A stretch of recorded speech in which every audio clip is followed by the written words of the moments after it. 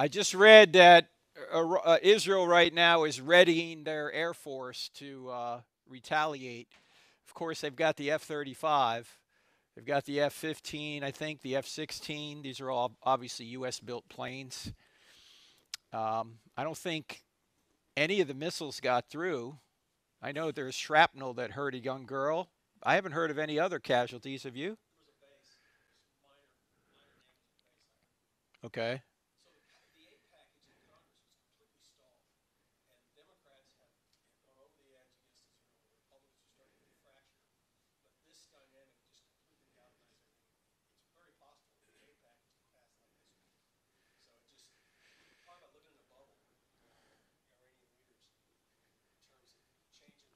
Uh huh.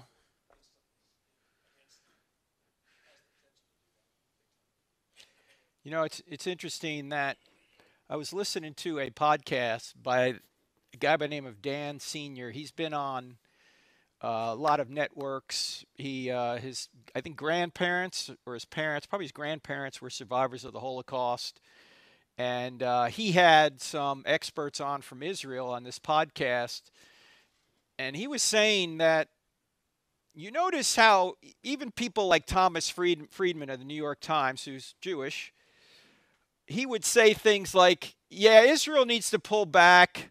Israel uh, can't go overboard. If we could just get rid of Netanyahu, everything would be all right." Well, in this podcast, he said Tom Friedman was saying that 20 years ago about a different Israeli leader. It's the same script all the time.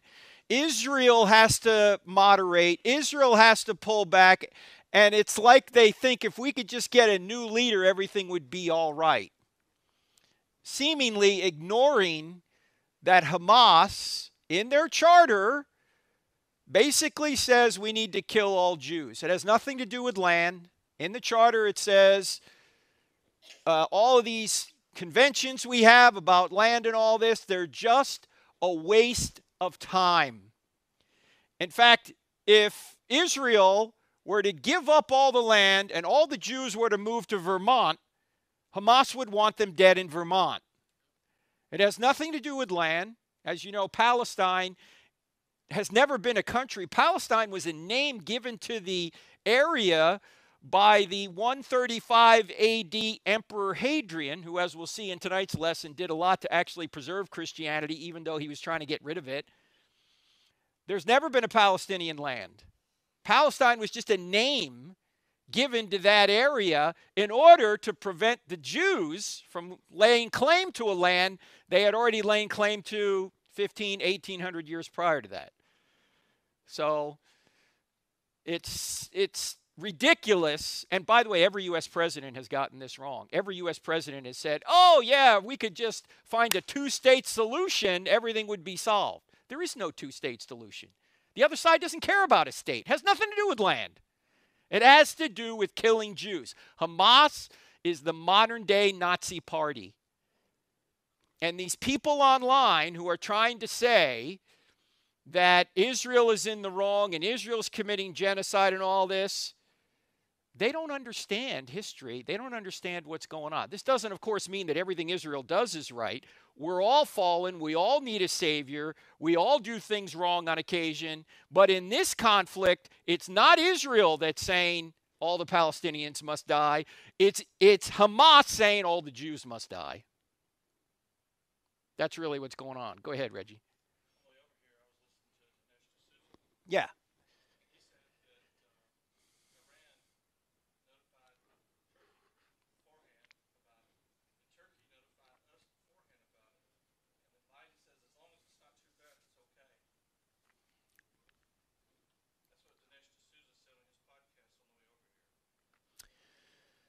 Yeah, you know, part part of the problem is, as we all know, Joe Biden is suffering from some mild form of dementia, and uh, it's not really his fault. He is where he is.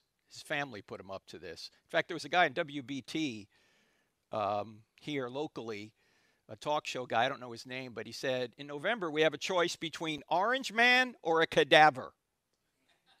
That's basically what he said.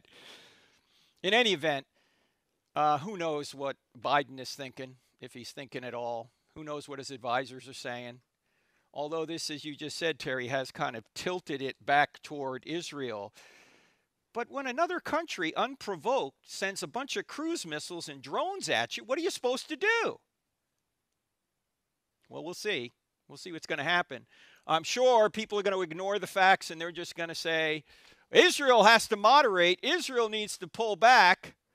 It was John Bolton, who's the former UN, uh, UN ambassador, said Israel ought to hit them disproportionately in order to say, you can't do this to a sovereign country. You can't do that to us. We're not going to tolerate that.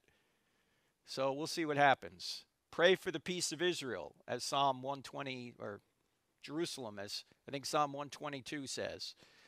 So we need to pray. And later on, for those of you that are tuning in online, we'll get to prayer later. But what we do is we go through a little bit lesson here, and then we have some commentary, some questions.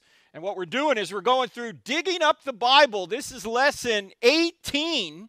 We're trying to go through the top archaeological discoveries in the Bible. We're going chronologically. This is our big picture of the entire Bible from creation all the way to eternity.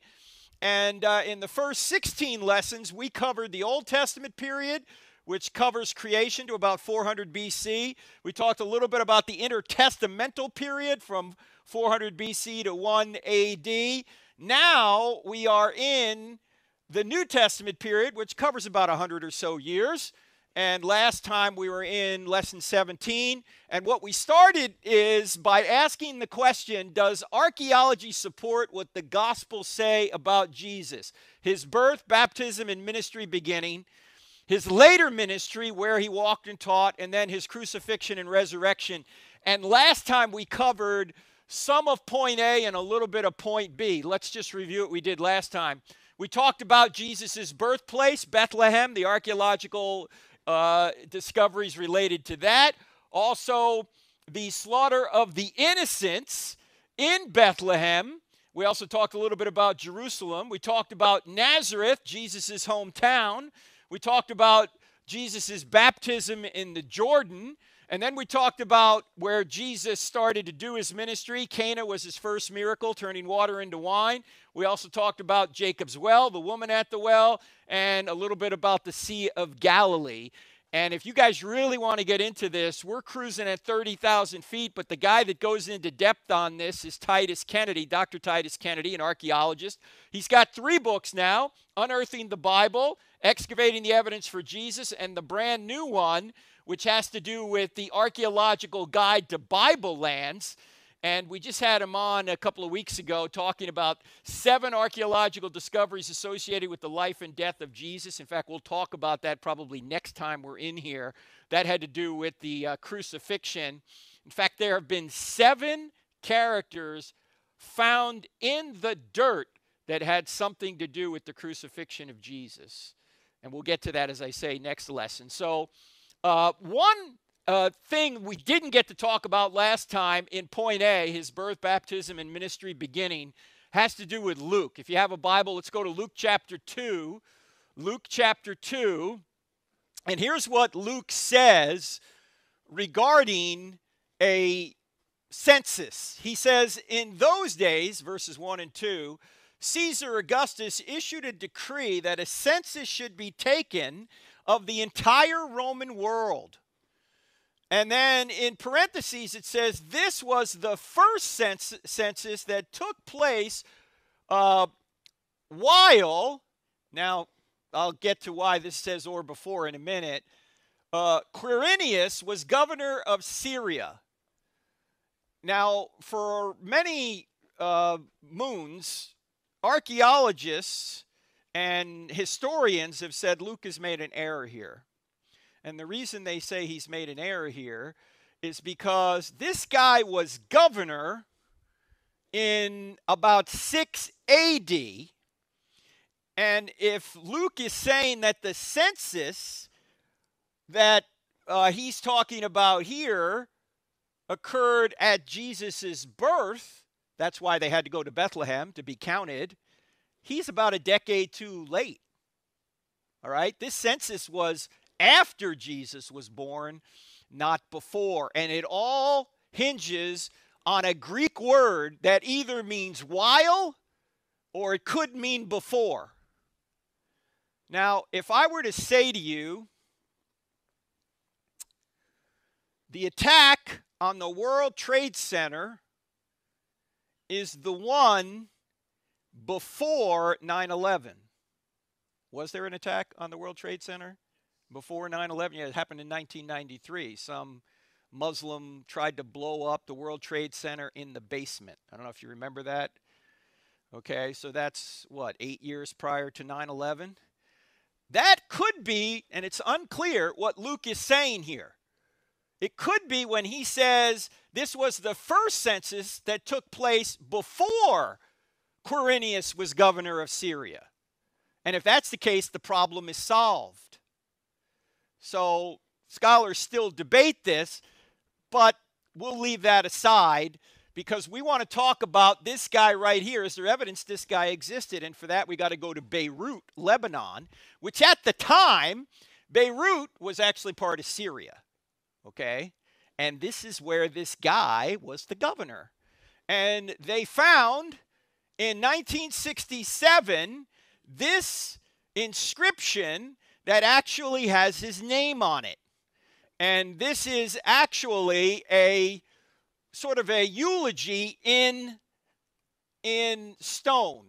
And uh, this speaks of this gentleman who was, I guess he died in 54, and it says, Secundus, a Syrian military officer, is celebrated in this epitaph, which is a memorial stone akin to a eulogy, discovered in ancient Syria, which is modern day Lebanon. And it says that he carried out a census under the provincial ruler of the Syrian governor Quirinius who lived from 51 BC to 21 AD, whose orders came from Caesar Augustus. Now, the Romans actually did censuses, if that's the plural for it, or is it census? I don't know.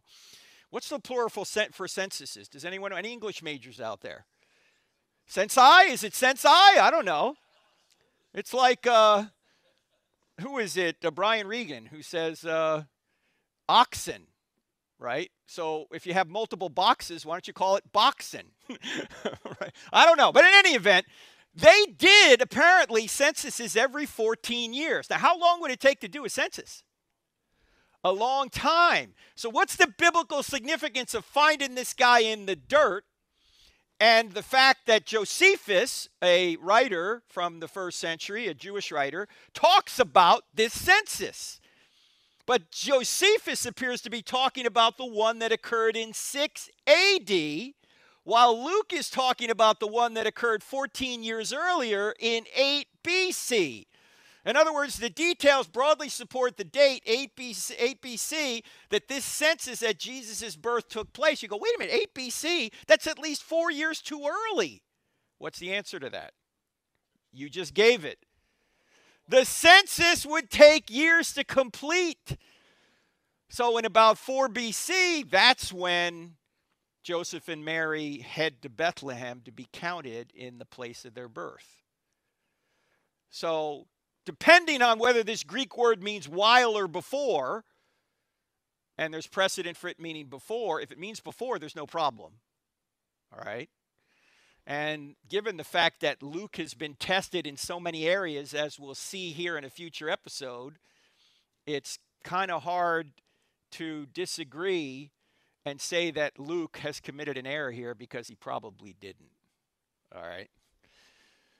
All right, so now let's go to his later ministry where he walked and taught which area of, or which city of Israel did Jesus do more of his miracles than anywhere else. Does anyone know? Capernaum. Let's go. This is why it's my favorite spot in Israel. If you ever get to go to Israel, you'll definitely go to Capernaum. And uh, Capernaum is on the Sea of Galilee. So this is to the north now. And Jesus probably spent 70, 80% of his time up in this area. Of course, he was born in Nazareth, but he then uh, made his home during his ministry in Capernaum. Now, what does Capernaum look like now? This is what it looks like now aerial shot. And you go, the Millennium Falcon has landed in Capernaum. How did that happen? Well, we'll get to it in a minute. When you go through over here, you're coming into Capernaum, this entrance here, they have this sign Capernaum, the town of Jesus. And uh, this is up in the Sea of Galilee area on the northwestern side. This is a synagogue we'll talk about in a minute. And this is the church built over what archaeologists say was Peter's house. Now, there's a lot that went on in this town.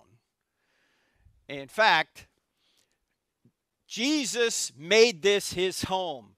Matthew says, and leaving Nazareth, he went, leaving Nazareth, he went and lived in Capernaum by the sea. So Jesus is making Capernaum his hometown. And since he lived there, he did a lot there. In fact, here are miracles that the Gospels say Jesus did in or around Capernaum. He heals a demon possessed man. I'm just going to go through them now, then we'll comment on them. He heals Peter's mother in law in Peter's house. He heals the paralytic let down through the roof. You all know that story. They couldn't get in, there were too many people around, so these guys dug out the roof, which was probably a thatch roof, and lowered him down in there so he could get to Jesus. He heals a man with a paralyzed hand. He calms the storm on the Sea of Galilee, just off the coast here. He heals the woman who was hemorrhaging blood. He heals Jairus' daughter, that's the synagogue leader's daughter. He heals the centurion's servant. He also heals a royal official's son in Capernaum while he was in Cana. So he's miles away in Cana, and he tells this royal official, Your son is healed. And by the time he got to Capernaum and found his son healed, he realized that the time Jesus told him that is when the witnesses said the kid got better. He walks on water, and then the boat arrives immediately on shore on, the, on its way toward Capernaum. He puts a temple tax coin in a fish's mouth. He says, Peter, just pull a fish in, there'll be the temple tax for me and you in its mouth. And it was. And then he sends 153 fish into the nets of Peter. Who would have made this number up? 153. But it sounds like a fisherman, right? You're going to brag about that. We got 153. After we were fishing all night and we got nothing, we see Jesus on the shore and he says, Put the net on the other side.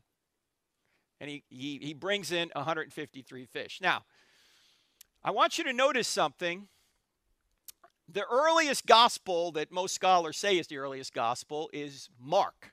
They think that's the earliest. And some will say, well, Jesus never really claimed to be God in Mark. Okay. Now, of course, he does in Mark claim to be God when he's before the high priest in Mark 14, when the high priest asks him, Are you the Son of Man? Are you the Messiah? And he, he says, I am. That's the holy name. That's the name of Yahweh and you will see the Son of Man coming with great power on the clouds. And that's when Caiaphas tears his robe and says, blasphemy. So he does claim that. But notice what Mark does, the way he arranges his gospel. He actually shows Jesus is God by the stories he tells. Look at Mark 1. He heals a demon possessed man. He has power over sickness and over demons.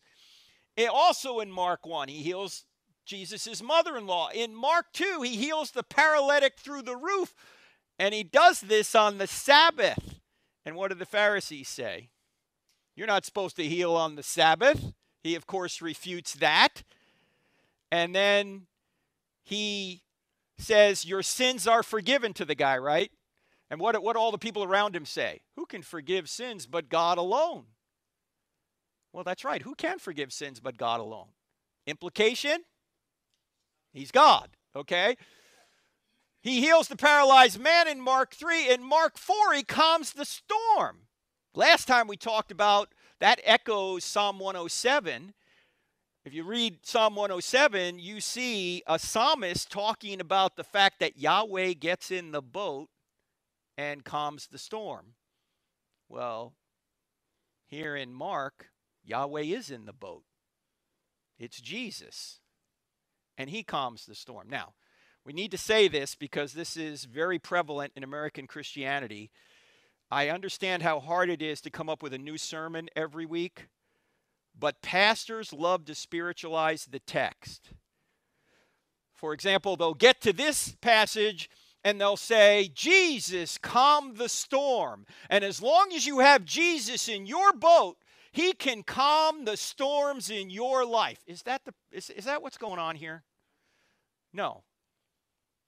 They're, they're, they're, they're basically spiritualizing the text. This is an historical event, although it does have other implications. Jesus is able to calm the storm. Why is he able to calm the storm? What are the four things that hurt human beings? One of them is nature. What else? Sickness or disease, sin, and finally, taxes. Thank you. Yeah, that's it's taxes that kill us. it's death, right? Now, if you think of Jesus' miracles, his miracles were in those four categories. He's sinless. He has power over nature. He can calm the storm, turn water into wine. He has power over sickness. He can heal people, and he can raise people from the dead, including himself. So, through his actions, he's saying he's the Messiah. He can fix the four problems we have sin, nature, sickness, and death. So, this is demonstrating that he's God because he has power over nature. That's the moral of this story. Also, go back to this one. He heals a paralytic let down through a roof. What might that make you think of? He's down. The paralytic's coming down. They have to dig up the roof so they could put him down where Jesus is.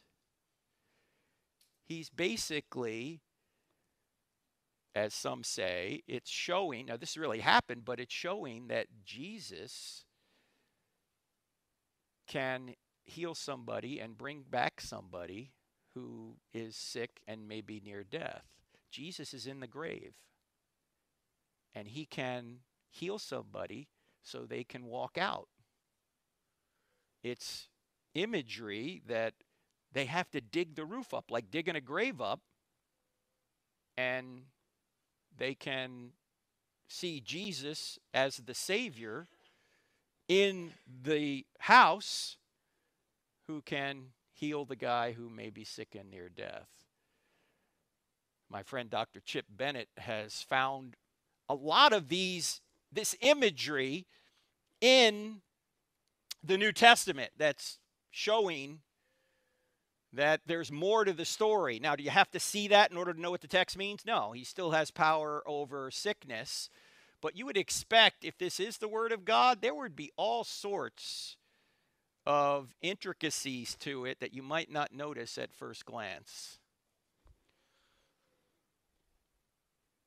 Now, if all these miracles are done in Capernaum, why don't many in Capernaum believe?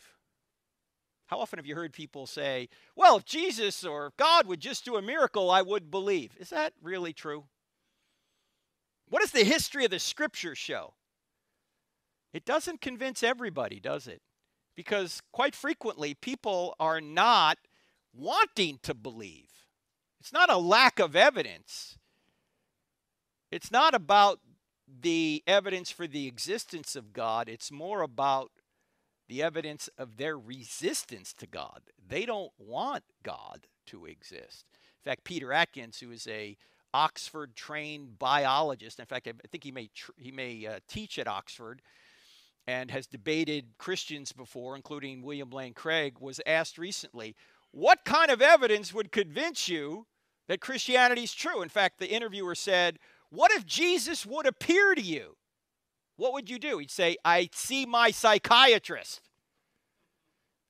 He would just dismiss it as an hallucination of some kind. There's no evidence that would convince him.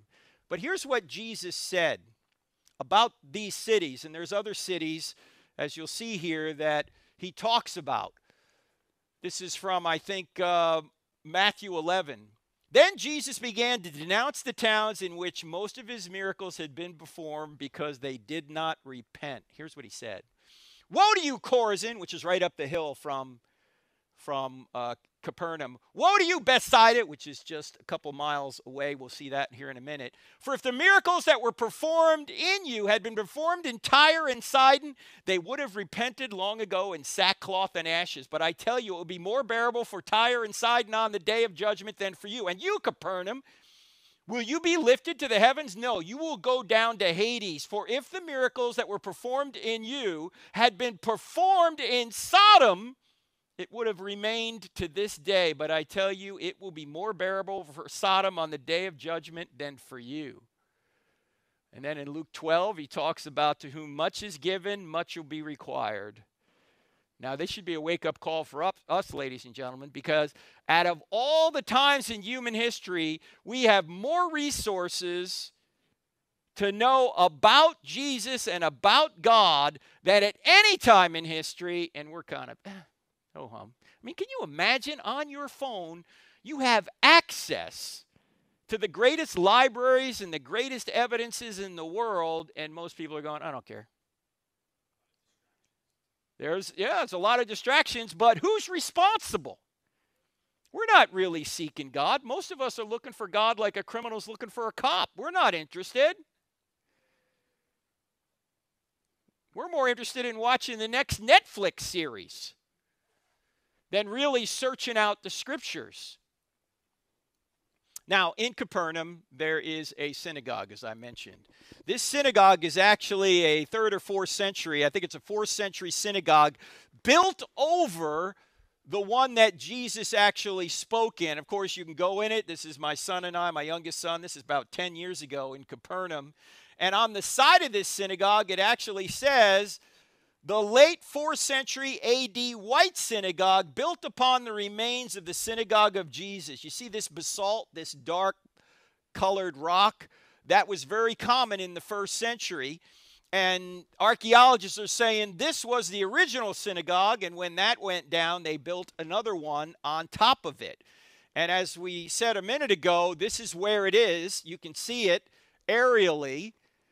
And uh, the Matthew records that there are some healings at Peter's house under the Millennium Falcon. We'll talk about that here in a minute. Here's what Matthew says.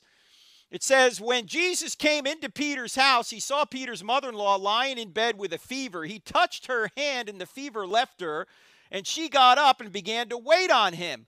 When evening came, remember that phrase?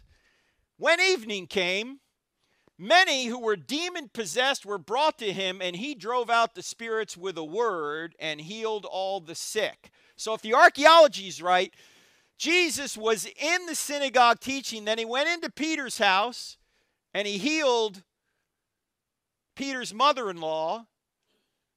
And then the word got out, and when evening came, a whole bunch of people showed up and wanted to be healed as well. Now, here is the question Why wait until evening to be healed? I mean, Jesus was often on the move, right? If you're in that town and you know Jesus is in town and he's healing people, I wouldn't wait till evening, right? I would, I'd, I'd go, I'd go find him right now, wouldn't you? You don't want him to leave and then you might miss an opportunity. Well, here's an instance where another gospel writer tells us a detail that the first gospel writer didn't tell us and it corroborates the two accounts and solves a problem. This, these are called undesigned coincidences. In other words, one writer inadvertently, without designing it, helps amplify what another writer said and solves a problem that maybe another writer created inadvertently. And this is the situation here we're asked, we're scratching our heads when we read Matthew's account, going, why would anybody wait till evening? Well, here's Mark's account. Mark gives us a detail that Matthew doesn't. They went to Capernaum, and when the Sabbath came, that's when all this took place. It was the Sabbath. So that explains why people didn't immediately go to Peter's house to get healed. They had to wait. And uh, there are many of these undesigned coincidences. Like eight or nine years ago, when we went through Stealing from God in here in the book Stealing from God, uh, we have a bunch of these undesigned coincidences which show that they couldn't have invented this. There's no way to invent these minor details corroborating one another, even if they were trying to do this. It, it, it, it doesn't make any sense that this is invented. That's why they're called undesigned coincidences. Now, churches were built over Peter's house. This is before they put the Millennium Falcon on Peter's house. This is what it looked like. And the center of this was the, or near the center was the original church. In fact, here's an aerial view.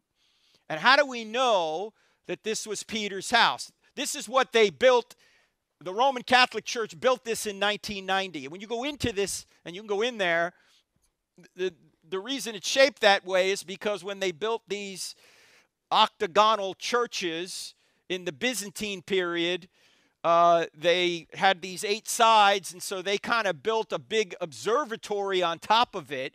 And there, the floor is plexiglass.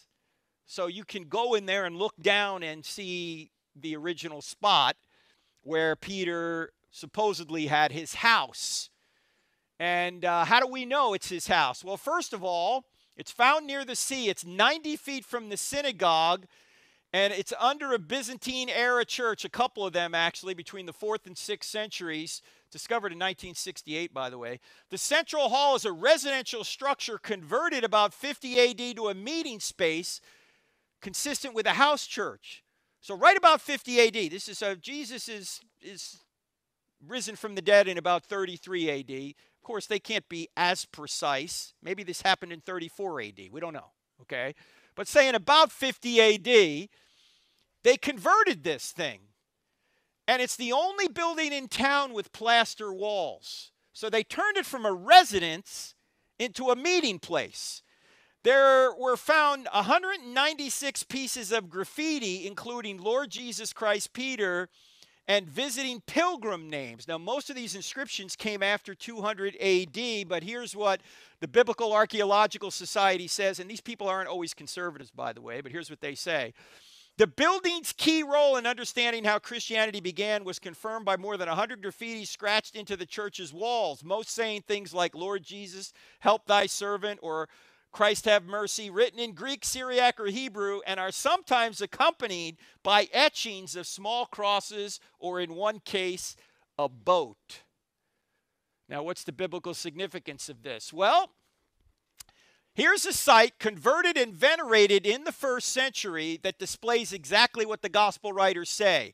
First of all, Peter had a house in a fishing town known as Capernaum. He's a fisherman, of course. Secondly, a first century synagogue was there too. Capernaum was busy. Why? Because it was on the road between Egypt and Damascus. So if you're going from Egypt and you're going to Syria, Damascus, you're going to pass right by this spot. Even if you wanted to go to Europe, you would pass right by this spot. Might be the reason why Jesus picked it. So the word about what he said and did could be spread by people passing through. Who else might be found in a town like this? Which disciple became a disciple from this town? Does anyone know? Yeah, Matthew. This would be a logical place for a tax collector because you got all people coming through. So the Romans would put him there to make sure they could get the proper taxes that people owed. So all this fits Capernaum, my favorite spot in Israel. Now let's just go a few miles away to Bethsaida. Bethsaida was uh, a place where both Philip, Andrew, and Peter were from. That's what John says. Now, we'll see here that this is where Peter was born, but he later appears to have moved just a few miles away to Capernaum. Now, where is this place? Okay, we were just here in Capernaum. There are two tells. You know, a tell is uh, kind of a mound of debris. People keep building on the same spot, so it keeps getting higher and higher. And for years, people thought this tell, Et Tel, was the place of the biblical Bethsaida. In recent years, and recent meaning the past 10 years, it looks like this spot, El Araj, if that's the way we pronounce that, is the true Bethsaida. Now, what happened in Bethsaida? A, a famous miracle. The feeding of the 5,000 took place in Bethsaida. This is actually a still from the TV show The Chosen. Now, when they actually filmed this, they got 10,000 extras. I think it's being filmed in Texas, if I'm not mistaken, right? so they got they got 10,000 extras. These are it's not CGI, and uh, he fed the 5,000. Now, how do we know that this is probably the biblical Bethsaida? This guy is an archaeologist, Steven Notley from Nyack College, and he's been digging there a while. And why they think this is the real site is because it's close to the sea. The other tells about a mile away. So, why would you have a fishing village a mile away from the lake or the sea? It's called the Sea of Galilee. It's really a lake, it's a big lake. Okay.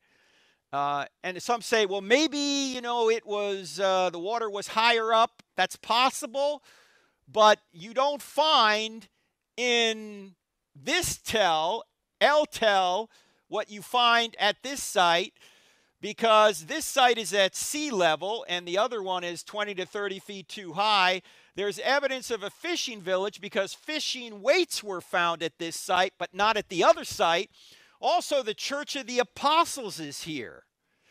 And this church is the traditional location of St. Peter's house. So we got a house in Capernaum for Peter. That's where he apparently moved to. But where his original house was, where he grew up, where he was from, was Bethsaida. And uh, the coin he appeared to be holding here may have been this Neronian coin. It was minted during the reign of Nero, who reigned from 54 to 68. And it was found at this dig site, and it shows, therefore, that this was being used in the first century. What is the Church of the Apostles? Well, Notley and I guess others have uncovered some amazing mosaics in this area. And uh, these mosaics point out that, first of all, the tradition says this was built on Peter's home, this church, and it maybe was his original home or maybe it was his brother Andrew, because, you know, Peter had a brother Andrew who was also a, an apostle. And uh, Peter sometimes stayed there, perhaps. We're not exactly sure, but there are written requests for Peter to intercede for them. And one of the mosaics has a, de- uh, a dedicatory prayer to St. Peter. So this goes all the way back to the first century. This appears to be the biblical Bethsaida, as best we know. Do we know for absolutely sure? No. That's what archaeology is, right? Sometimes it's hard to nail it down with certainty, but this appears to be a better candidate than the one that's a mile away. All right. Now, stay on the Sea of Galilee. Let's go to Magdala. What does that make you think of? Mary Magdalene. This is where Mary was from. And this is a synagogue that we'll get to in a minute. But where is this? Okay, we were just over here in Bethsaida. Here's Capernaum. Here's Magdala. Now, when you're touring the Sea of Galilee, this is like a four minute bus ride, okay? It's right there. And uh, they found this synagogue back in 2009, I think it was, and at least 12 synagogues have been found from the time of Jesus in the Holy Land. Now, a synagogue typically was a place that you would go to because you couldn't get to Jerusalem, right? That's where the temple was. So, this is kind of the next best thing. You'd go to a synagogue. And uh, Jesus, when he's in Jerusalem, berating the Pharisees, who, by the, way, by the way, were the politicians of his day, they were on the Sanhedrin, to whom Rome delegated day to day legal making authority. They were the politicians, and Jesus went after these people. Yes, Jesus was involved in politics, the politics of Israel. He excoriated these people. And here's one of the things he said. He says it in Matthew 23. He said, Then Jesus said to the crowds and his disciples, The teachers of the law and the Pharisees sit in Moses' seat. So you must be careful to do everything they tell you, but do not do what they do, for they do not practice what they preach. Moses' seat. What's that? It was found in the synagogue in Magdala. This thing right here, and there's a replica of this in Chorazin too, which is just up the hill, found in 2009, discovered near the center of this synagogue. It is believed to be a Moses seat, which either was an honorary seat for the Torah, the Bible, or a place where the reader would sit to teach or read the word. It was for use in worship, far from the temple, as we mentioned. And the seven candle menorah that you see here fits the first century design, which means the craftsmen must have seen this prior to 70 AD, because after that, the menorah had a different number of candles on it. So this is early.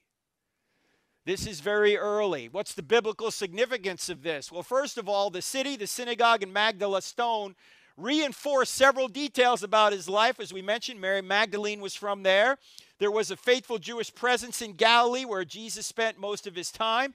By the way, when the Romans came in in about 66 AD, from 66 to 70 AD, they killed thousands of people in this town. It was a fishing village. Archaeological detail supports the claim that Pharisees demonstrated their status by sitting in the seat of Moses. So these little details that you find in the dirt, you go, well, this appears to corroborate what the gospel writers are saying. Now we're going to stay in Galilee, but go north to Caesarea Philippi. Who has been to Israel? Has anyone been to Israel? So you've been to Caesarea Philippi, right? There are probably few places in Israel that the location makes more of a difference to understanding what is said than Caesarea Philippi. Okay?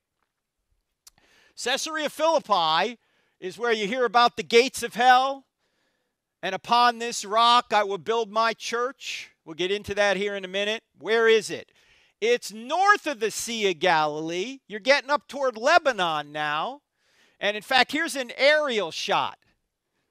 Here's the Sea of Galilee. Here's Caesarea Philippi, and Mount Hermon's right next to it. Okay, so it's way north. You're getting up toward Dan. That's like the northern city in Israel, the northernmost. And by the way, this is a great website and YouTube channel holylandsite.com. Holylandsite.com. Dr. Todd Fink, who is a pastor, has gone to just about every site in Israel and done a video on it, including aerial footage and all sorts of stuff. He does a great job describing what's going on. So if you want to go into more depth than what we can do here in this 30,000 feet look, go check out that website. And here, by the way, this is this is what the site looks like when you go to it, Holy Land site right here, bringing the Bible to life by seeing where it took place. So Caesarea Philippi, now, do you see this picture here? There's a big hole here. This was supposed to be the access point to hell in the time of Jesus. Now, it didn't look like this then. Why? Because they had all these temples in this area. They had the cave entrance. In front of the cave entrance, they had the Temple of Augustus. Then they had the Court of Pan. What's Pan? Does anyone know what Pan is? It was a god, half goat, half man god, from where we get the, the, the word panic. And people would worship to that they'd sacrifice to this god Pan, half goat, half man. You had a temple of Zeus. You had an upper tomb temple, a lower tomb temple. And uh, this gate right here was considered the gate to hell or gate to Hades, and people would sometimes throw their babies in there as sacrifices so they'd have better results with their crops or better results in something they wanted. And so when Jesus comes here and he talks about the gates of hell, he's referencing what everybody in his presence would readily understand. In fact, this would be a modern day Las Vegas of some kind, or any city nowadays. So you don't need to. What's Las Vegas? There's gambling. There's, there's you know there's a prostitution everywhere now, right?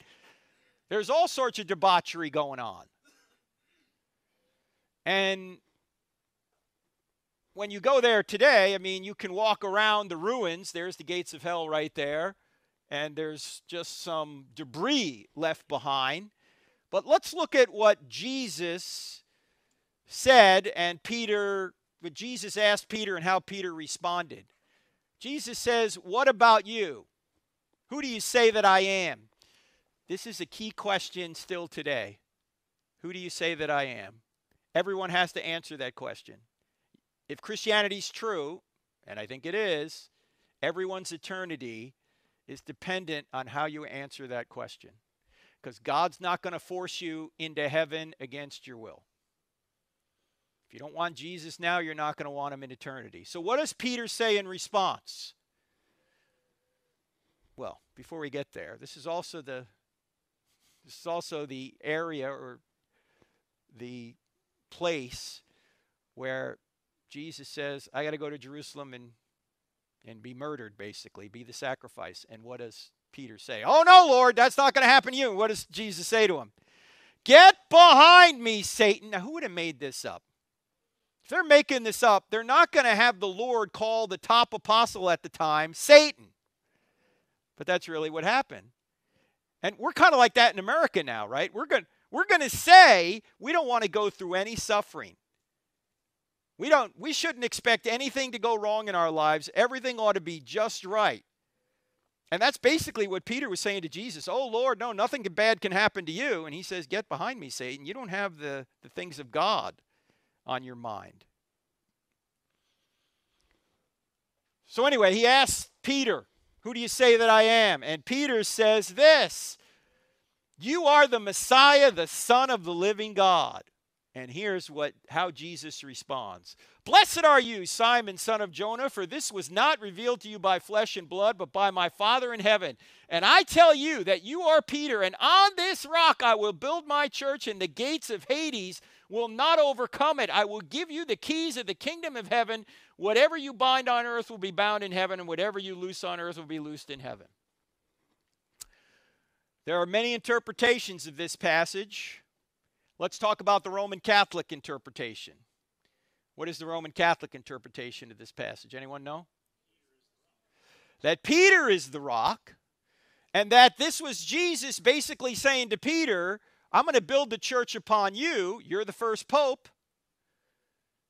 And then there'll be subsequent popes, obviously. Now, to be fair, papal infallibility did not actually become a real doctrine until about 1860. All right. And papal infallibility doesn't mean everything the Pope says is infallible. It only is supposed to mean that whatever he speaks call in, in a way called ex cathedra, that he is infallible. But he rarely does that. And as you can see, given the current pope we have, he rarely does that. okay? In any event, um, they would think that, okay, he's the rock, and Jesus is telling everybody that upon Peter, he's going to build the church. What's the Protestant viewpoint of this passage? Yeah, the, the declaration is the rock, and the rock upon which the church is built is who? It's Christ. And it's not just Peter that has the ability to to bind on earth and bound in heaven and all this. The other apostles have that ability too, as we see elsewhere in scriptures. Also, if you want to look at Peter, he denied Christ three times, as you know. He was rebuked by Paul in Galatians chapter 2. We covered that when we went through the entire book of Galatians. Peter also was married. Now, obviously, all the this papal stuff came later, but if you're going to say Peter was the first pope, he's certainly not representative of what we think of popes now. Popes aren't married. Popes are people that uh, are not going to deny Christ right? Uh, popes, when they speak in a certain way, are not going to be fallible. But Peter was all of those things. Also, as I mentioned, the gates of Hades is that cave right there. And by the way, gates are defensive. right? They're not offensive. And so what he's saying here is that even in an awful place like Caesarea Philippi, that their defenses are no match for the gospel, ultimately. So even when you think things are awful here in America or wherever you're from, and you say, oh, the gospel's never going to win, the gospel's never going to penetrate, ultimately it will. It doesn't mean everyone's going to be saved because a lot of people don't want to be saved. But the gates of hell are not going to prevail against the kingdom of God. Now, here, by the way, if you want clarification on who the rock is, who does Peter say the rock is? For that, why don't we go to Peter? First Peter, he actually wrote this. Here's what Peter says As you come to him, who's him? Jesus, a living stone rejected by men, but in the sight of God chosen and precious, you yourselves, like living stones, are being built up as a spiritual house to be a holy priesthood and offer spiritual sacrifices to offer spiritual sacrifices acceptable to God through Jesus Christ. For it stands in Scripture Behold, I am laying in Zion a stone, a cornerstone chosen and precious, and whoever believes in him will not be put to shame. If this was Peter, whoever believes in him, you don't believe in Peter not to be put in shame. He wouldn't be talking this way about himself. He's talking about Jesus here. The rock is Jesus. Now, part of the problem here is Jesus is sort of using a play on words because what does the word Petros mean? Peter means rock. Actually, it means little pebble.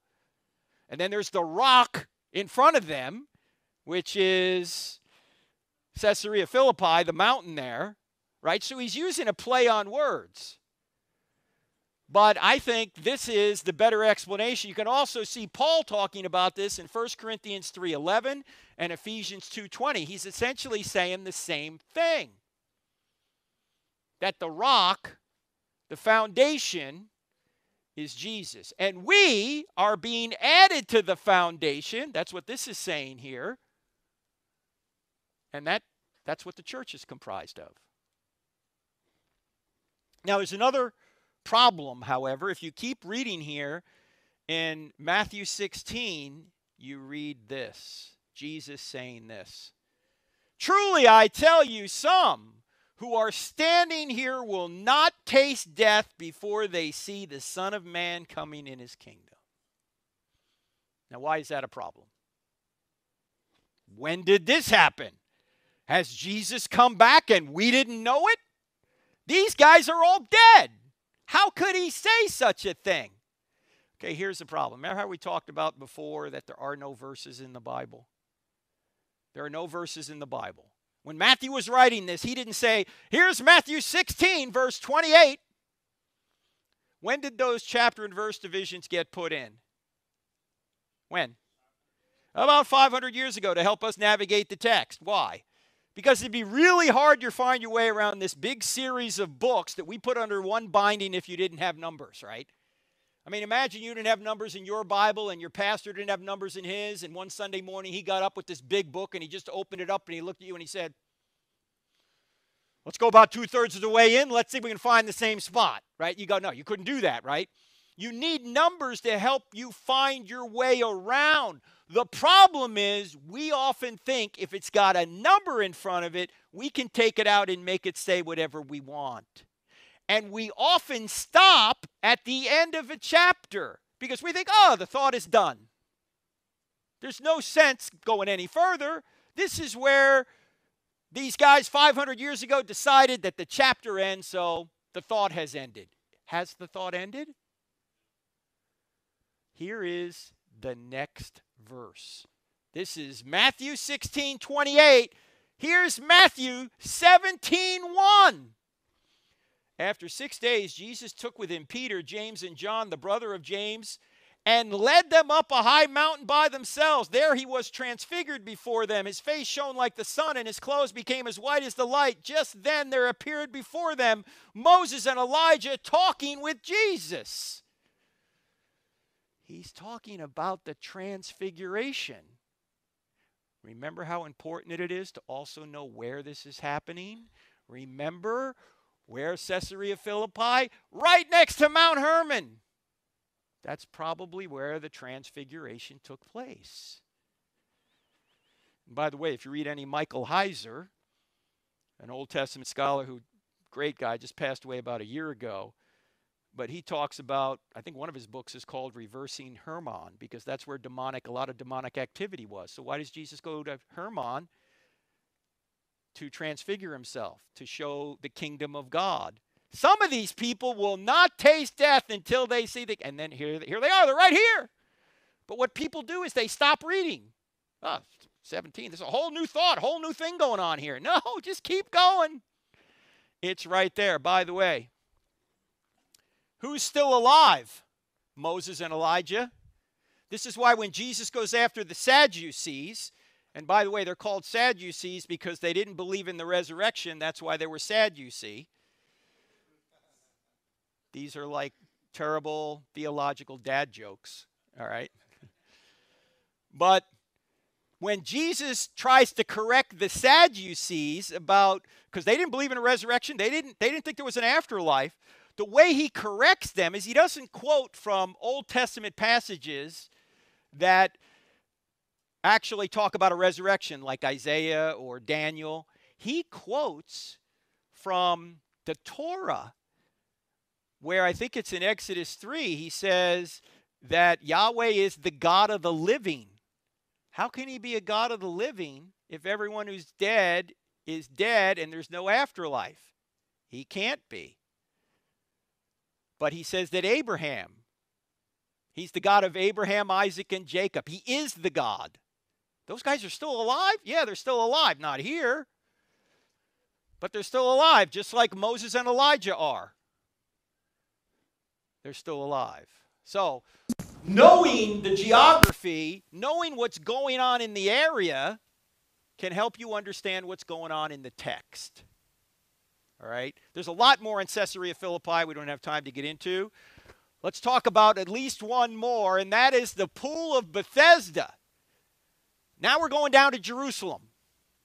Okay, we're going up from way up in the north, we're going all the way down to Jerusalem. By the way, Jesus does all of his miracles outside of Jerusalem except three. The resurrection's the biggest, right? What are the other two?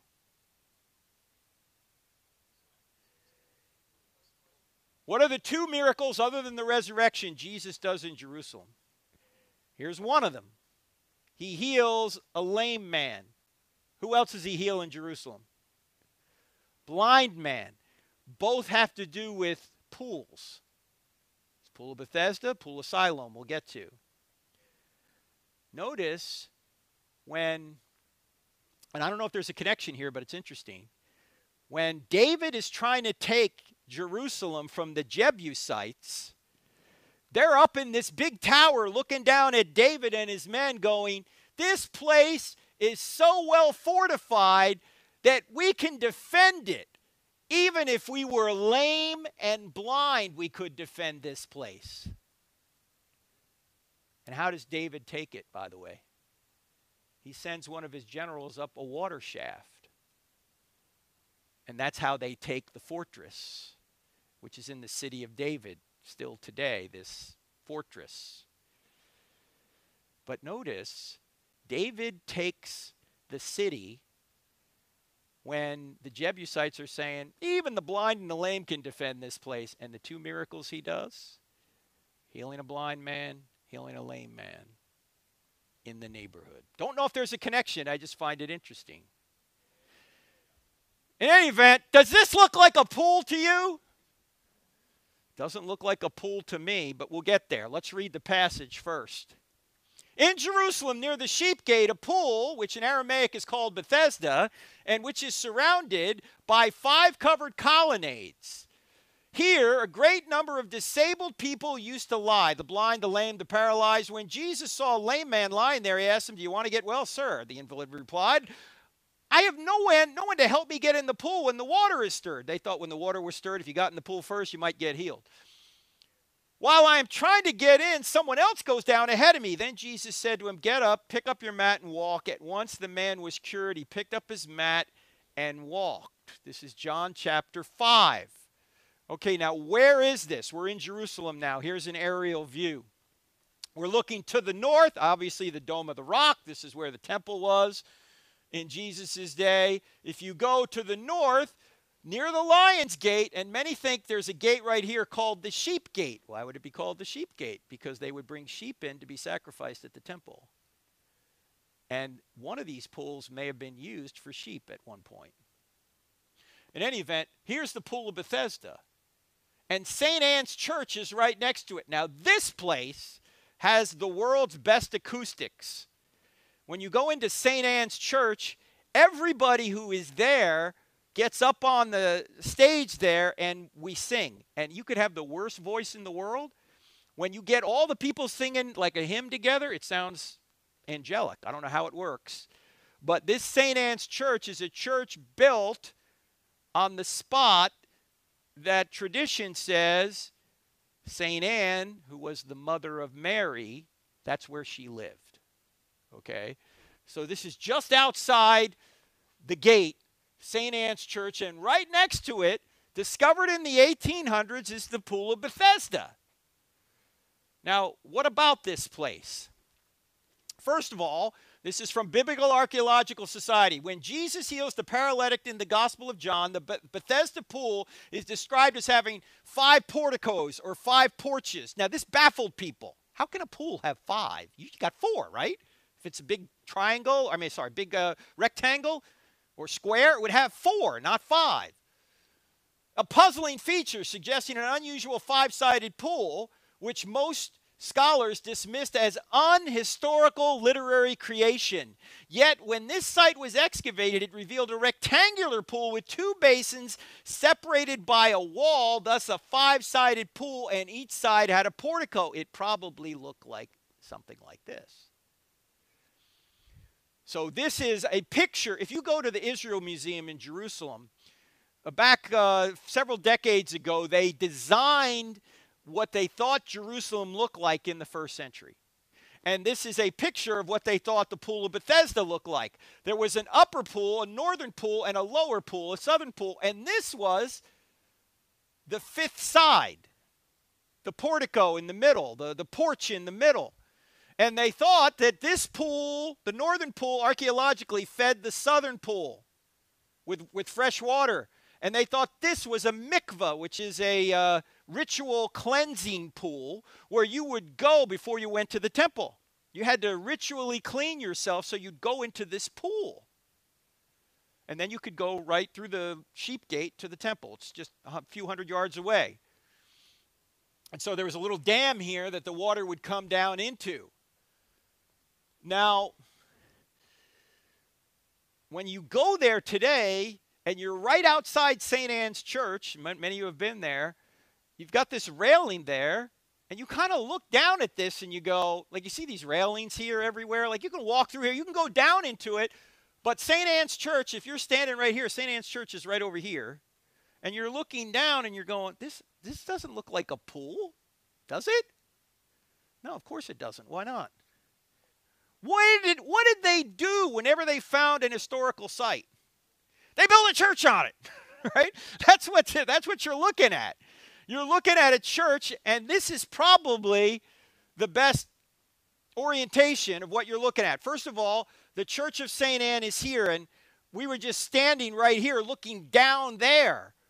Well, here's the northern pool, here's the southern pool, and the northern pool they think was 700 BC, the southern pool about 200 BC. The healing baths that were here in about 100 BC, the Roman temple, 135 AD. What, what Roman temple? Hadrian, second century Roman emperor, the guy that named Palestine Palestine, the guy that tried to cover up where Jesus was buried and resurrected by putting pagan We'll see this next time by putting a, a, pagan shrine there. The guy that tried to cover up where Jesus was born in Bethlehem, we already talked about that by putting a pagan shrine there, a grove of trees there. He tried to do the same thing here. He tried to say that no, this was going to be a place where you could get healed by the Greek and Roman god Asclepius. And I'll tell you what Asclepius here here in just a minute. By the way, if he's building a pagan shrine to healing at this site, what's he implicitly admitting? Healing went on there.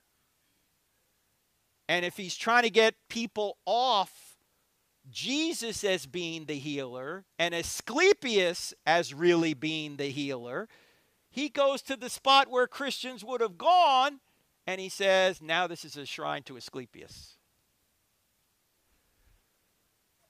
And so you've got a Byzantine basilica here, you've got a Crusader chapel, you've got the Church of St. Anne from 138 AD, and what you're looking at this is the visible part of the pool.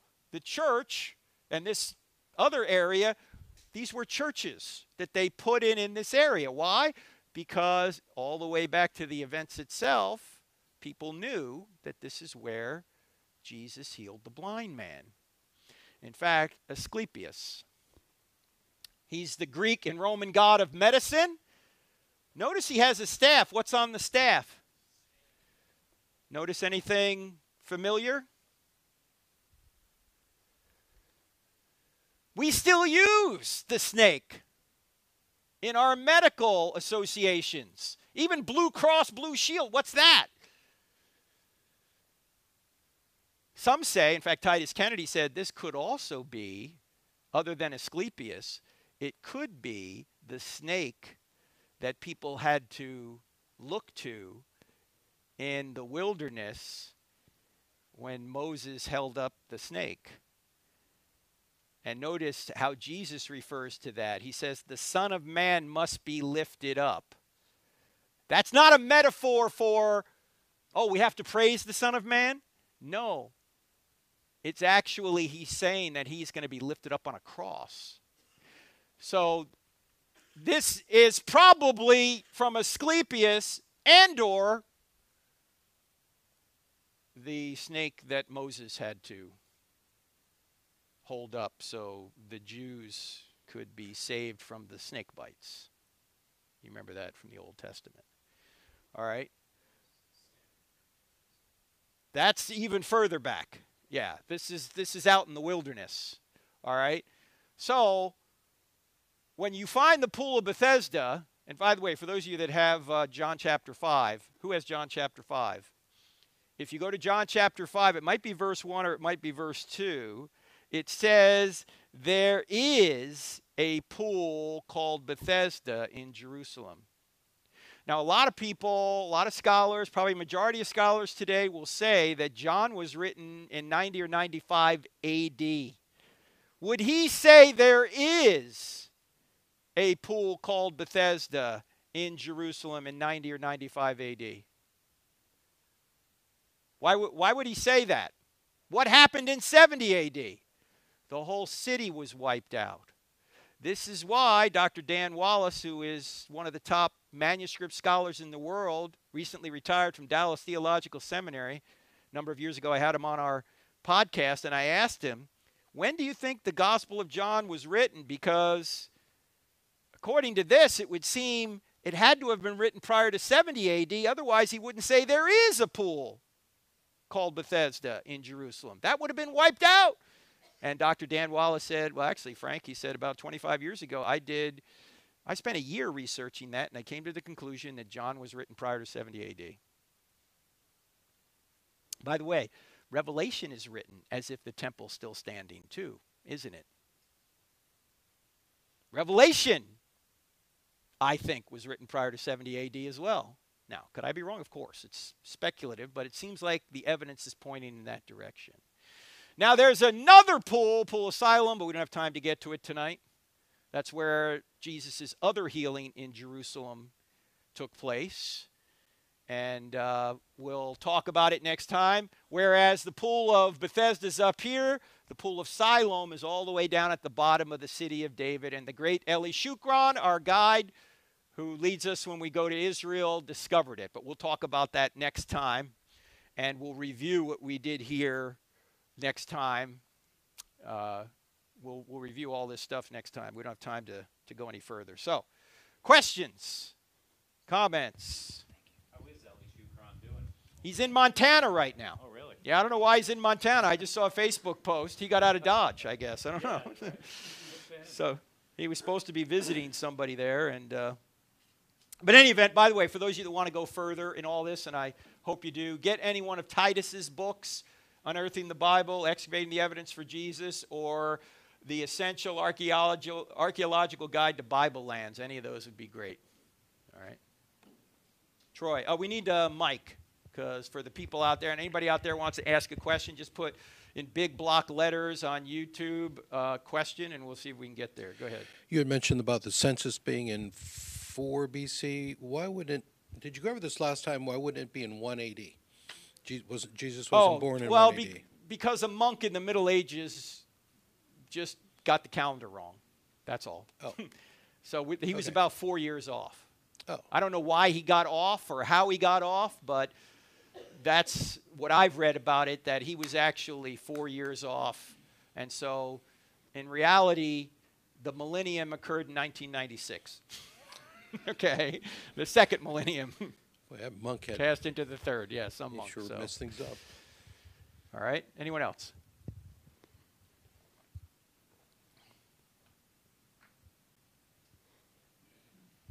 Yes, yes, sir. Yeah, just if you don't mind using the mic because we're on uh, YouTube as well. Uh, can I ask a question? Sure. Yes, sir. It should be on. No, you're not. It's not going to amplify. It's for the uh, audience out there. Can I ask a question about your campus uh, presentations, your ministries there? Um, tomorrow, uh, Dr. James Anderson at RTS, who's a professor of theology and philosophy, he's giving a presentation on the changing landscape of campus apologetics. And I'm just curious uh, what you have seen over the last decade or even more than that as a change that you've seen how the conversation has changed on uh, secular campuses as far as apologetics. Yes, uh, a decade or more ago, the new atheism was much more popular. You know, Richard Dawkins, Christopher Hitchens, uh, Sam Harris, Daniel Dennett, those kind of guys. That's kind of faded away now. Um, however, the campus is less open to Christianity. The administration is. I'm not saying all the students are. In fact, I think we get fewer requests for campus now than we did 10 years ago because even Christian groups are afraid to do anything that could be even mildly provocative. Like, I don't have enough faith to be an atheist. In fact, way back in 2011, we went to Stanford University, and Stanford, even in 2011, was more, I guess, liberal than even other universities at the time. And they didn't want to use the title, I don't have enough faith to be an atheist. That might offend somebody. So we had to change it to, like, you know, is Christianity true? Or evidence Christianity is true, or something like that. So uh, what has changed in terms of the questions and the objections that are brought up, the top three objections now to Christianity are morality, morality, and morality. Everything's about morality now and justice and all these things. Ironically, though, the people who are opposed to these things often are atheists and they have no grounds for morality outside of themselves. It's just their opinion. I mean, if you really want true justice, you've got to believe in God because without God, there is no justice or injustice. There is no purpose to life, so there's no right way to live it, no wrong way to live it. Things just happen. Uh, it's survival of the fittest. So if you're crying out for justice out there, you ought to believe in God because God is the only one that can be the standard by which we would even know what justice was, and the only one that can actually have secure justice in the end. Only an all knowing being who can know what people will do and or have done and should have done can right all wrongs in the end. Go ahead. So, a follow up question to that would be What have you found to be the most effective way to communicate uh, the gospel to that kind of cynicism. Uh, that Well, cynics are hard to deal with because they don't want it to be true. But I always just ask the question if Christianity were true, would you become a Christian? And that cuts away all of the other reasons why people don't believe. It just says, is this an evidence problem? I- or is this really a heart problem? And 99 times out of 10, it's a heart problem. It's not an evidence problem. and that's why they try to take the high ground on morality, so that they can justify their position over a God that they would be accountable to. Sure. If, if you've noticed, in uh, certainly more in recent years, there's a lot more talk about uh, oppression and oppressor and oppressed groups and Christianity being toxic. That's what this whole deconstruction movement is about. And so many people are talking about how, oh, well, if this is in any way damaging to my psyche, it's wrong. And so they're actually pushing people out of their lives who may be Christians because these people are toxic. This is the whole new deconstruction movement. And basically, where that stems from, I think, is the idea that the human individual is the center of the universe and there's no authority outside that outside of us so we just get to make up our own truth and we get to make up our own uh, meaning of life. And how can you say I'm wrong if there is no standard outside of myself? And so you need to respect what my feelings are, and I get to follow my feelings. And you're wrong if you tell me that I, I can't do that. It's basically what, we, what we've created is a narcissistic culture that everyone is their own little God. And the worst sin is to judge somebody or to say that somebody's doing something wrong. They're actually claiming it's wrong to say someone is wrong. Do you see the irony here? In fact, there's a new book out. I haven't read it yet, but uh, people that I work with have by Abigail Shrier. Do you know who Abigail Shrier is? Abigail Shrier is the lady, not a Christian, but she wrote a book four years ago called Irreversible Damage How the Transgender Craze is Seducing Our Daughters. Well, she just wrote a new book I haven't gotten to yet, but it's called Bad Therapy. And it's about how people try and pathologize everything. Like if your kid, well, let me ask you guys who are a little bit older in here. 30, 40 years ago, if your kid got out of line, what would you say? Knock it off, right? Do I need to come back there and smack a couple of heads together? Now, they'll say, oh, my kid has a condition. My kid has to get therapy. It's, it, it, it's not a moral issue anymore. It's some, some kind of psychosis where the kid has ADD. I'm not saying maybe that's not a real diagnosis for some kids, but it's like every kid has ADD. No, every kid's a kid. so we're going to medicate these kids. It's not a moral issue, it's some, some sort of medical, pathological issue that needs to be treated rather than you need to say to them, kid, you need to start behaving better. And that's what this book, Bad Therapy, is all about. Everything is centered on the individual, and the kid is never wrong. The kid just might need medicine, or the kid might need therapy of some kind. Go ahead, Gary. Before I get to my question, I think I've heard you say, uh, make the analogy of a, bulim- a child with bulimia. You know, this isn't something you do surgery or give. Yeah, anything else or- anorexia. yeah. Yeah, anorexia. Right, yeah. right. Yeah, Mhm. that's right. So it's beautiful. Um, I'm curious about Capernaum. Um, what you showed on the pictures there were uh, uh, that was great. But is Capernaum still a modern city? Is there still things there? Or No. no, really? No, Okay. no. It, it's. I mean, there's two areas of Capernaum. One is 90% of Capernaum you see in, say, uh, this picture. But there's another area off to the side here, I think the Franciscan zone. But no, it's not. There's one thing that the Israelis have done really well is they haven't commercialized the Sea of Galilee very much. I mean, there are hotels, don't get me wrong. Tiberias is just to the south there. But places like this, Capernaum, Bethsaida, Magdala, they're not building on them. they know that that's maybe they're being reverent, or maybe they also know they, they don't want to kill the golden goose of tourism. okay? And so the Sea of Galilee is pretty peaceful, pretty calm. Um, there's not a lot of not a lot of uh, in industry in that area. And so when you go there, you go, wow, this is uh, pretty rustic.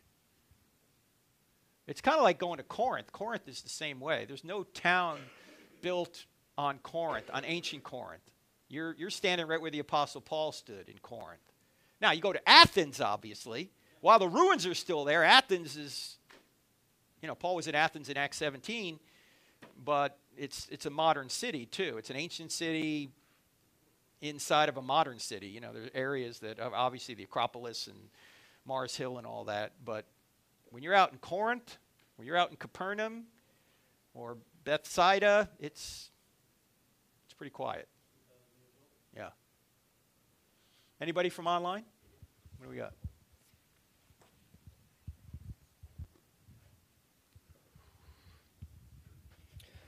Uh, we got Doug asked, uh, what event does day one, year like 1 AD, uh, start with? Like, is it Christ's birth or his death? something else? If we aren't sure, could that be why we aren't positive what census Luke is referring to?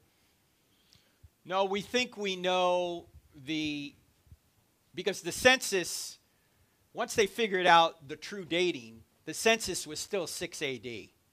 So the census that Josephus is talking about, the census that Luke is talking about appears to be 8 BC which would take several years to carry out. So 4 BC fits right in there that Jesus uh, was born and then his family ultimately had to go to uh, Bethlehem. All right, anybody else? Uh, yeah, last one. Kind of on the same subject. Um, when did historians first start keeping track of our modern time? was it year 1 AD, year 33 AD, 50 AD, some other time? I don't know when the dating, I think it was in the Middle Ages. I don't know the exact date. But you know, used to date, in fact, Luke, what does Luke say in Luke chapter 3? He says, in the 15th year of the reign of Tiberius Caesar, when Pontius Pilate was governor of Judea, Herod, tetrarch of Galilee, his brother Philip, tetrarch of Ituraea and, uh, and Trachonitis, and Lysanias, tetrarch of Abilene, during the high priesthood of Annas and Caiaphas, the word of God came to John, son of Zechariah, in the desert. Now, in the 15th year of Tiberius Caesar, when was that? Probably about 29 AD, because he came to power in 14 AD. So, even Luke is using reigns to date the 15th year, the reign of Tiberius Caesar. Um, and all those other people, and we'll get to this in the next lesson or the lesson after that, all those people that Luke mentions in Luke chapter 3, verse, the reason I know that is because we, when we go to college campuses, we often quote that passage. Um, all those people that Luke mentions lived at that exact time doing exactly what Luke says they were doing. So it's not a once upon a time story. He's telling us by the reign of Tiberius Caesar what year it was that we now we now would call 29 AD. It depends on whether you count the first year. It could be 28 AD, you know, but in that time frame. Yeah. Yeah. Good. Do you think God purposely hid or destroyed certain archae- archaeological evidence so we wouldn't venerate it? That's speculation. How do we know? Yeah, I have no idea whether God decided he didn't want us to venerate certain things. That could be the case with the autographs of Scripture, right? It, like, say, Paul writes the book of Romans, and we have the scroll that Paul wrote the book of Romans on. Well, if someone had the scroll, not only might we venerate it, but you could change it, right? But if the book of Romans, the original's lost and it's spread all over the ancient world, and we can reconstruct the original by comparing all those different copies, you could protect the word better than if there was one original copy. Because you could just compare all the copies and figure out who the outliers were. Well, Brent, he changed his copy. I can see where he changed his. Or Greg changed this over here because look, all these other versions say the same thing and they differ from what Greg's version was, right? You can reconstruct the original uh, or preserve the original better than if you just had one version, the original version. So that's a possibility, but it's speculation. In fact, sometimes when you get a question, why would God do or why did God do? If he doesn't explain himself, all we can say, well, we're speculating here. Those are those are uncertain answers, quite obviously. All right, let's go over here to Brent, who changed his copy. Right over here. That's right. I brought you into it. Now he's going to defend himself. I did not change my copy of Romans. Go ahead. Just looking at the uh, the Capernaum and, and the other photographs from the air, it, it's made me just kind of think, what was this? And you mentioned how Israel has done a very good job not Mm-hmm. developing over this land. Is this stuff that's been really found and recovered since the birth of the, the, the recent nation of Israel? Some stuff has been found, but there are pilgrims that went to Capernaum back in the 300s, back in the 600s, and we have their records. So it's not just uh, recent discoveries, although we had up here, what, 1968? Why 1968? Where was it? I think we had 1968 in here. When did Israel come back into the land? 1948. Okay, so 20 years later, they sent um, some archaeologists up there. Here it is, 1968, right? Uh, in fact, uh, one of the previous lessons, we pointed out that when they found, I think it's called the burnt house in the city of David, they had discovered something just after they got access to that area of Jerusalem after the war of 1967. It's like 1968, they discovered, oh, we can go in there and look at this stuff. Yeah, I thought about that with the missiles flying over Yeah, this yeah. weekend. Right. These targets, you know, these are things that could be taken out. And by the way, to be fair, Muslims don't want this stuff blown up either. Particularly not the Temple Mount. What's on the Temple Mount? The Dome of the Rock, the Al Aqsa Mosque, right? Most Muslims don't want that to blow up. Well, yeah, this is this this is Capernaum here, but well, who knows? I mean, Hezbollah has missiles in the north. If you keep going up near Caesarea Philippi, a little further north of that, they got all these missiles aimed at Israel. Could they overwhelm the the Iron Dome? Yeah, if they sent them all at once, probably, right? But they know that those people there in Lebanon can be invaded. You, can't really invade Iran. You could invade Lebanon. They, the, the, the Israelites have done that. They've gone into Lebanon. Eli Shukron was one of the guys that went into Lebanon in 1981. They all had to do at least two years of service. Yeah, yeah, they all they all serve. Let's go back over here.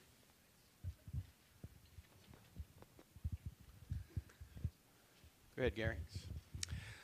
more speculation. Sorry, but you made a great point. So in, in the hundred years, let's say, or, or so or less, that Israel's had this land, they've not wanted to do anything with it, or pres- they wanted to mm-hmm. preserve it. What about the time before that? I would think somebody might have done something. Well, remember, prior to Israel, you had the British from about 1917 to about 1948. Prior to that, you had the Ottoman Empire for about 400 years.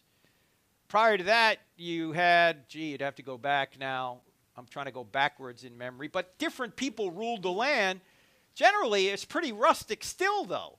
Yeah. Okay, so, uh, and archaeology is a relatively new endeavor. It's only about 200 years old.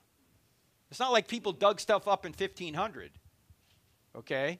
They were too busy just trying to live than to figure out what went on before them. In Well, I- I of guess I was just-. Just thinking there wouldn't even be another settlement like Lake Norman. This is Lake Norman. Why, oh, why, yeah. Know, why isn't someone else building a house there? Right. Well, there were several fishing ports that people could, maybe they did have. I don't know if anyone ever lived in these areas, you know, the basalt areas. Um I'm not sure. I don't. I don't know if that that has happened or not? Well, Frank, you Yeah. remember, Frank, that uh, Jesus, I mean, t- probably to say cursed was probably too strong of a word, but he did say, Woe to you, Chorazin, woe to you, Mm-hmm. Capernaum. So he, he essentially prophesied that you're going to get. You know, you're going to get torn down and ripped, and nobody's ever going to build on you again. And that's actually happened. Those ten cities have have been. That's happened to them. Yeah, you, that might be the case with this too. I mean, he's really talking about the day of judgment, but also there were there were at least two, maybe three major earthquakes in this area uh, over uh, the past several hundred years, or actually in the first millennium. There were several earthquakes that may have prevented people from really settling there. But look, how many people lived in the area? You know, this, this is still up in the rural north. It's not Jerusalem. And Jerusalem at the time of Jesus maybe had 60 to 100,000 people. In a, in a smaller area than our cities, but that's not a ton of people. All right? All right. Thanks for watching out there, folks.